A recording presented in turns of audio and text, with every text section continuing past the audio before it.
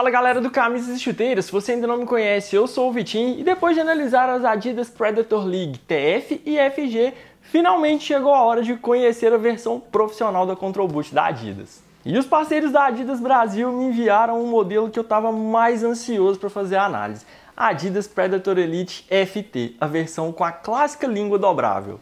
Então bora pro unboxing conferir essa caixa e principalmente a chuteira. E lembrando que após a análise, se você quiser comprar um modelo ou qualquer outra versão da Predator, eu vou deixar links aqui na descrição e no primeiro comentário fixado. Comprando por esses links, vocês não pagam mais caro e me ajudam a trazer cada vez mais conteúdo para o canal. Apesar de ser a versão profissional, a versão mais cara da Predator dessa nova geração, a caixa do modelo mudou, não é mais aquela caixa estojo, é uma caixa toda preta, com o nome da Predator aqui na parte superior, logo da Adidas em preto também. Então, assim, uma caixa bem mais simples mesmo, bem diferente das gerações anteriores. Então, aqui Predator Elite FT FG. FT é de Foldover Tongue, que é língua dobrável. Então, ela veio com minha numeração regular, tamanho brasileiro 41, americano 9,5 com 27 centímetros e meio, que é o tamanho que eu peguei nas duas Predator League, na de Society e na de campo. Abrindo a caixa aqui, a caixa padrão mesmo da Adidas, tem cartinha aqui. Oi Vitinho, tudo bem? Este ano a Predator completa 30 anos, 30 anos de muita leveza, precisão, estabilidade e conforto nos pés. E para celebrar este momento, a Adidas lança a Predator 24, a mais leve da linha. Uma homenagem à chuteira que une nostalgia dos anos 90 com desempenho implacável de hoje. Com as famosas cores preta, branca e vermelha, juntamente com as faixas em amarelo vibrante, a nova Predator mistura o DNA estético da Predator original com o design leve da Pred Strike e da Predator 30. Ela possui solado leve Control Frame 2.0, cabedal Hybrid Touch 2.0, estabilizadores de borracha Strike Skin e colar Prime Knit. Acredito que nessa versão não tem o Prime Knit. Elástico e sem costura, que facilita vestir e mantém a chuteira segura no pé. Essa é a versão com língua tradicional. Uma verdadeira obra-prima para os pés, né? Para sentir essa leveza no pé, separamos um especialmente para você. Esperamos que goste. Muito obrigado, Adidas Brasil. Continuando aqui, tem a, o folhetinho tradicional da Adidas, a seda com o Predator East 1994, que foi o ano da primeira Predator de todas, que eu tenho aqui na coleção, inclusive. E temos aqui a Predator Elite, a língua está aqui dentro. Daqui a pouco eu mostro em detalhes para vocês. Solado ficou bem bonito também, solado diferente. Curioso para ver esse Hybrid Touch 2.0. Aqui o outro pé. E apesar da caixa ter ficado um pouquinho mais simples, ela continua vindo aqui com a bag. Dessa vez preta com os detalhes, esse vermelho que puxa mais para um laranja mesmo.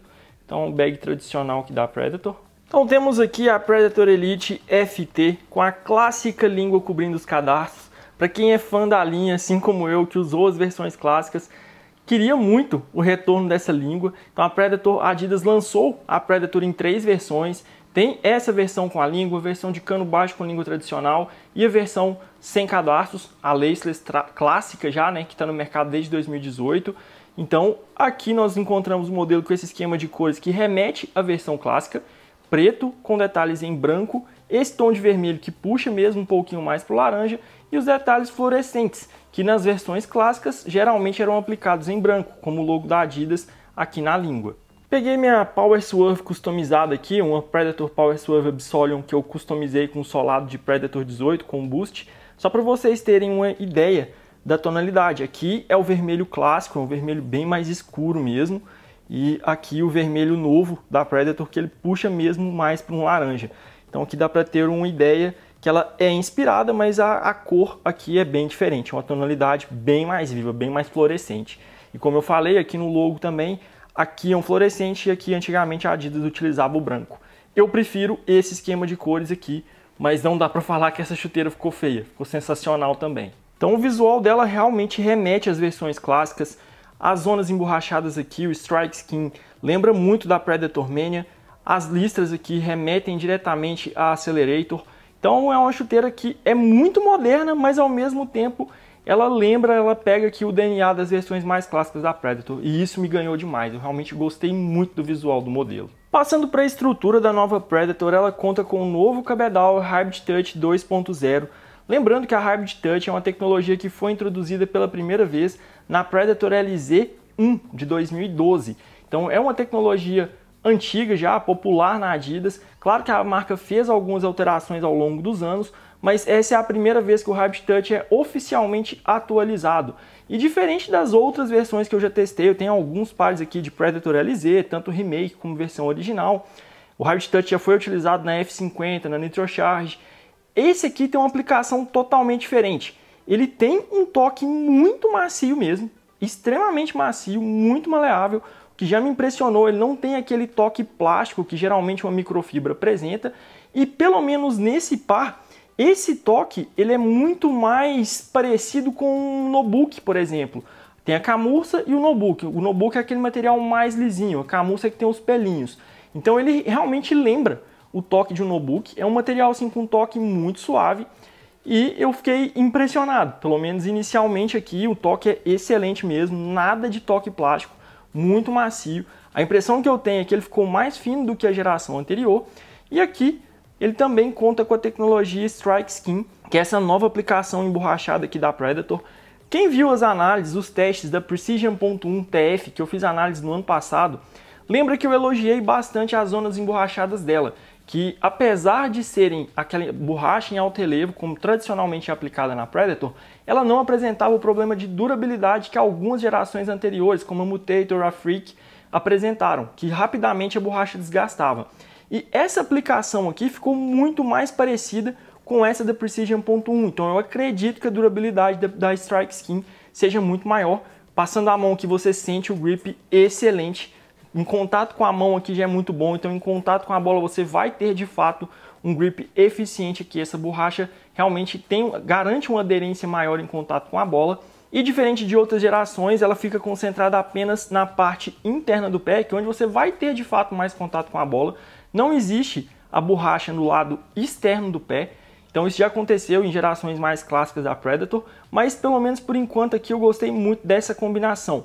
A Strike Skin não atrapalha em absolutamente nada a maciez do cabedal e como eu falei, a maciez do Hybrid Touch 2.0 é muito melhor do que o tradicional Hybrid Touch, que era utilizado desde 2012. Ainda farei uma avaliação mais completa no teste em campo, obviamente, mas a primeira impressão muito boa. Veremos daqui a pouco com ela nos pés como que vai ficar o conforto. O modelo conta com um contraforte bem mais maleável que como vocês estão vendo, já que o contraforte dessa vez ele é acoplado ao solado, então fica esse contraforte externo do solado Control Frame 2.0 também.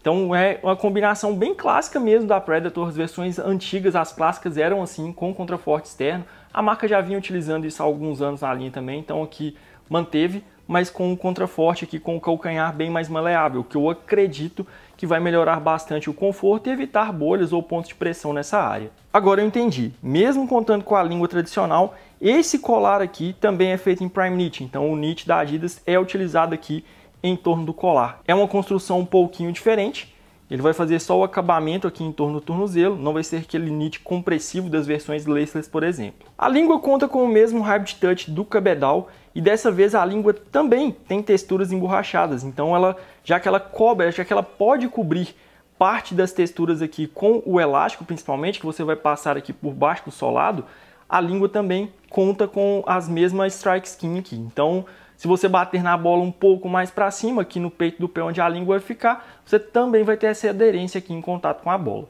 A parte de baixo dela aqui tem um 30 bordado em referência aos 30 anos da Predator e mesmo sendo feita dessa microfibra, ela tem uma aparência aqui que remete, parece bastante com um couro natural. O acabamento interno do modelo segue o padrão das chuteiras da Adidas, é um material têxtil que simula o toque da camurça, tem alguns pontinhos aqui, eu achei que poderia ser alguma tecnologia de grip, mas acho que é um silk simples mesmo, bastante acolchoado, então eu espero que entregue bastante conforto. E temos uma atualização aqui na palmilha, que eu gostei bastante.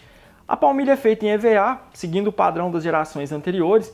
É uma palmilha de boa qualidade, mas o que mais chamou minha atenção aqui foi o grip dessa palmilha. Ela, fez, ela tem um revestimento têxtil aqui. Não sei se é o revestimento ou se é esse silk, mas ela está bem mais áspera do que as gerações anteriores, que tinham aquela palmilha com um toque um pouco mais aveludado.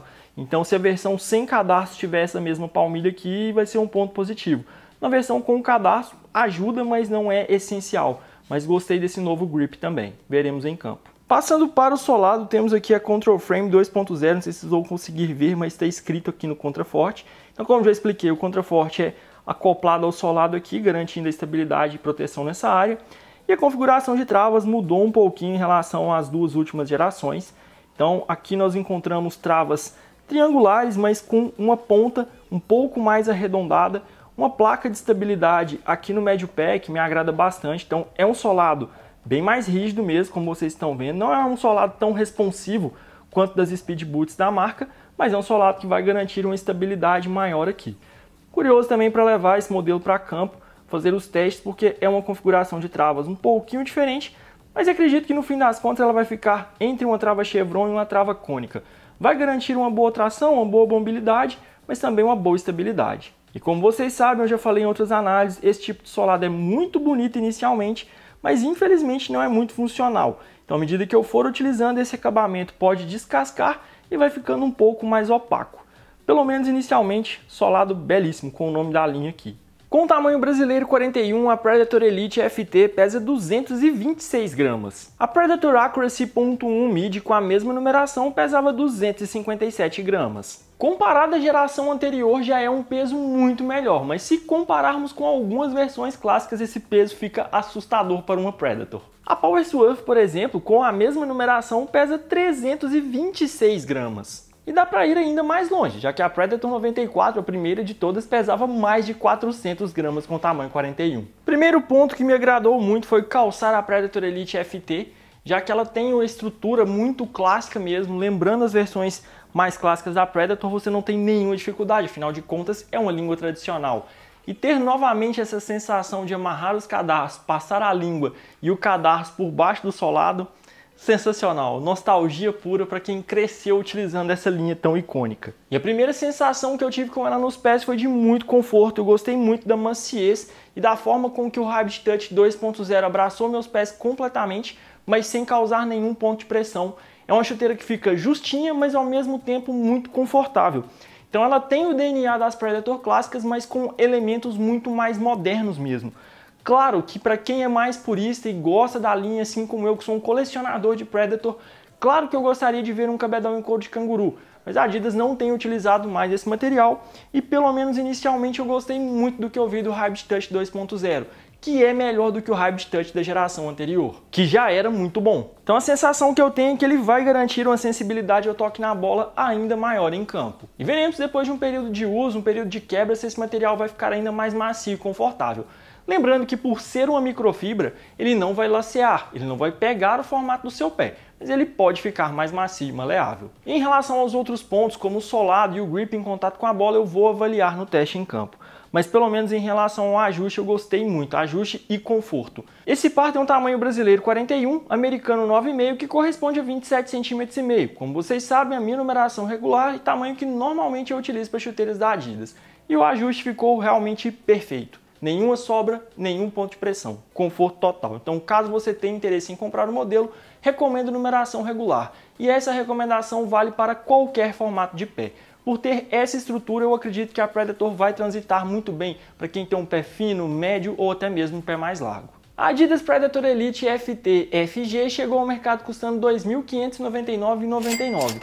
Se eu não me engano, é uma das chuteiras mais caras vendidas no Brasil atualmente. Como vocês sabem, eu vou falar melhor sobre preço e custo-benefício no teste em campo, mas realmente o preço é muito salgado. A primeira impressão foi excelente, eu gostei muito da nova textura emborrachada, do Hybrid Touch 2.0, gostei muito do retorno desse visual clássico, acredito que esse solado vai garantir uma tração excelente em campo, é muito leve mesmo para uma Predator nesse formato mais clássico mesmo, é levíssima, mais leve que eu utilizei até hoje, tem tudo para ser uma chuteira espetacular em campo. Eu acredito que eu não vou me decepcionar após os testes, mas infelizmente esse é um preço que é praticamente inalcançável para a maioria da população. Então, para quem gosta do modelo mesmo, vai ficar com o gostinho de querer usar. É uma pena, eu fico muito triste com isso, por isso eu gostaria tanto de ver a Predator League com a língua tradicional, já que seria um modelo um pouco mais acessível. E para quem realmente gosta e tem essa nostalgia, conseguiria comprar uma chuteira um pouco mais barata, já que ela custa R$ 549,99 atualmente.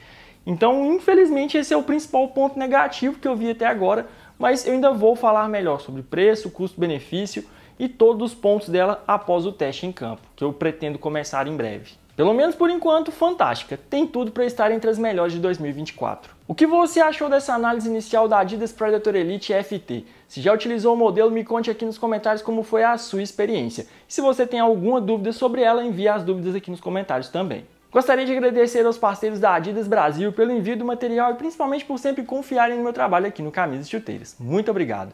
Se gostaram do vídeo, deixem um like, compartilhem com os amigos e principalmente inscrevam-se no canal. Até breve.